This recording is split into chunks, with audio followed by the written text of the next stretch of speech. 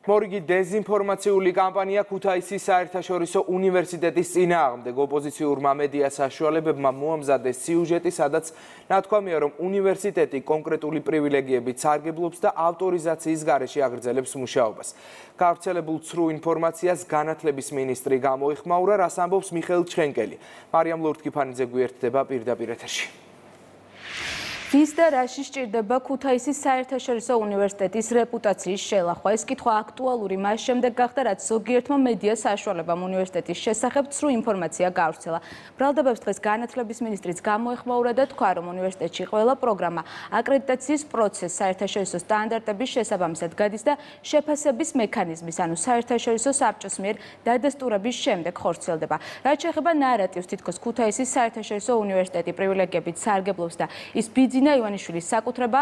ამაზე განცხადება დღეს ფონდი ქართულ სამეთვალყურეო საბჭოს თავმჯდომარემ გააკეთა. ნიკო ჩხეტიანი ფიქრობს, რომ აგორებული კამპანია უნივერსიტეტის დისკრედიტაციას ემსახურება.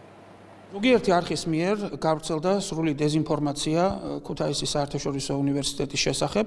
მე მინდა საზოგადოებას ვაცნობო, რომ ქუთაისის საერთაშორისო უნივერსიტეტის ყველა აკადემიური პროგრამა გადის აკრედიტაციის პროცესს, რომელიც შეესაბამება უმაღლეს საერთაშორისო სტანდარტს. ამ პროცესს ახორციელებს საერთაშორისო საბჭო, რომლის შემადგენლობაში შედიან სოფლიოში ცნობილი პროფესორები. ქუთაისის საერთაშორისო უნივერსიტეტის აკადემიური პროგრამები წარმოადგენს მიუნხენის ტექნიკური უნივერსიტეტის შესაბამისი აკადემიური პროგრამების ანალოგს.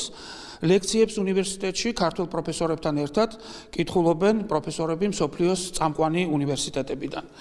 როგორც მოგეხსენებათ, ქუთაისის საერთაშორისო უნივერსიტეტის იდეის და კონცეფციის ავტორი გახლავთ ბატონი ბიძინა ივანიშვილი და სწორედ მისი და მისი ოჯახის უაღრესად მნიშვნელოვანი ქველმოქმედების შედეგად საქართველოსი ჩვენს ჩვენ გვაქვს სოფლიო სტანდარტის შესაბამისი ჭეშმარიტად ევროპული უნივერსიტეტი. ჩვენი პროგრამა არის მიუნხენის ტექნიკური უნივერსიტეტის პროგრამის ანალოგი და ხორციელდება მას შემდეგ, რაც მას დაადასტურებს გარეშეფასების მექანიზმი საერთაშორისო საბჭო და დამატებით აკრედიტებული პროგრამებზე ვალდებული ვარ წარმოადგინოთ საერთაშორისო სააგენტოებში მეორადი აკრედიტაციისთვის, ანუ ორმაგი აკრედიტაცია არის ჩვენთვის სავალდებულო. არსებული კანონმდებლობა უმაღლეს განათლების შესახებ არ გულისხმობდა საშუალებას ახალი სახელმწიფო უნივერსიტეტის დაარსებისთვის.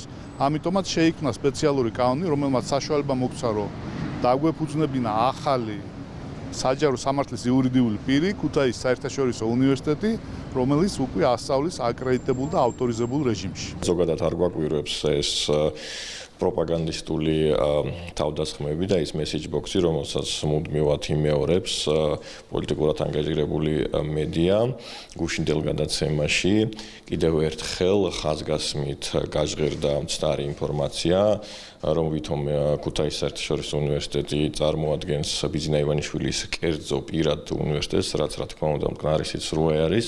ეს არის სახელმწიფო უნივერსიტეტი და საერთოდ ზოგადად უნდა ითქვას და ადრეც გვითხოვს, მაგრამ ეხლაც გავიმეორებ, რომ პირველად დამოუკიდებელი საქართველოს ისტორიაში 91 წლიდან, როდესაც აღდგა ჩვენი ქვეყნის დამოუკიდებლობა, ნოლიდან შეიქმნა ახალი სახელმწიფო უნივერსიტეტი. ქუთაისის საერთაშორისო უნივერსიტეტი არის სახელმწიფო უმაღლესი სასწავლებელი. ფონდი ქართულთვის ეს არის წმინდა წლის საქველმოქმედო პროექტი.